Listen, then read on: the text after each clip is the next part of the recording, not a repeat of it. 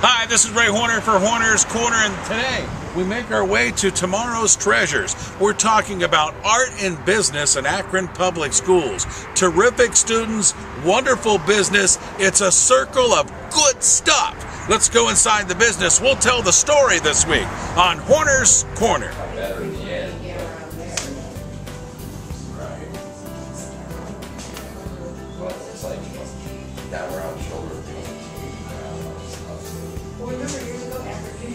Business started probably 20 years ago or maybe even more um, by our learning specialist at the time, Pat Sargent. The goal was to get the students' artwork out into the community more and into businesses to make people aware of what goes on in the art room.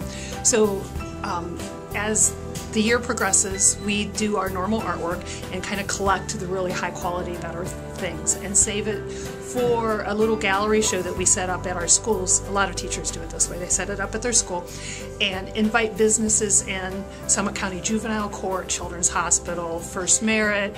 Um, a lot of times the school's PTA will purchase a piece. So they come in and they pick a piece of artwork that they would like to purchase through the art and business program.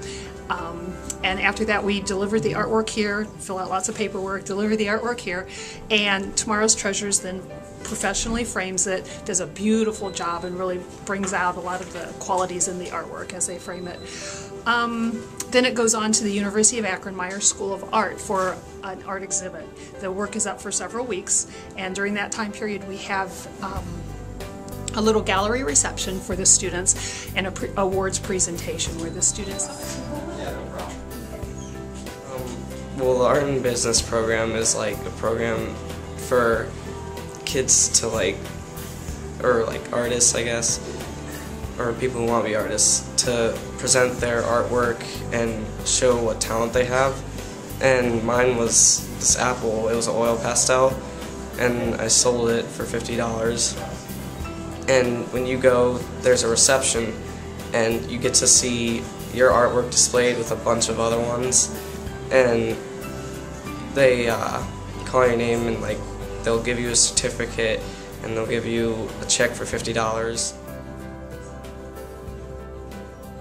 In art and business, we're creating artwork in our classroom, just our artwork that we're doing, and um, it gives um, students a chance to create artwork and have businesses buy it, and I think it's a really great opportunity because you know that someone actually wants to buy your artwork.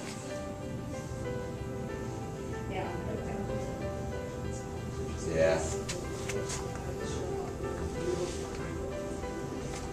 Sponsors come who purchase the artwork. They actually um, get to meet, and we have a, an award ceremony. And the student gets uh, actually gets money. They get a cash fifty dollars for um, selling their artwork.